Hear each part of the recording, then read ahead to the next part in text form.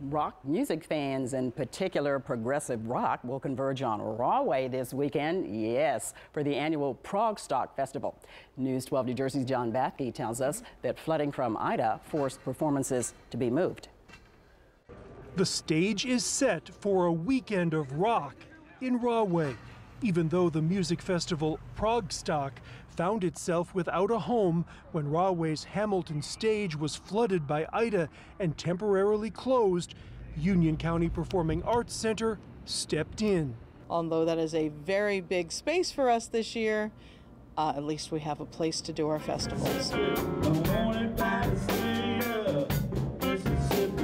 The group McNally Waters, here in rehearsal, is among the acts performing over the next three days as the musicians wrap up their first tour since the pandemic.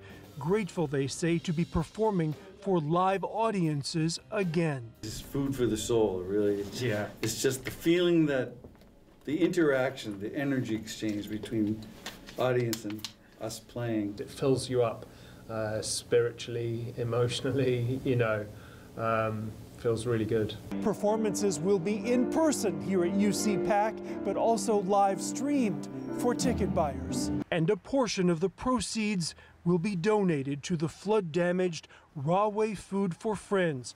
Much of the food pantry was destroyed. This weekend, bringing together music and a good cause. John Bathke, News 12, New Jersey.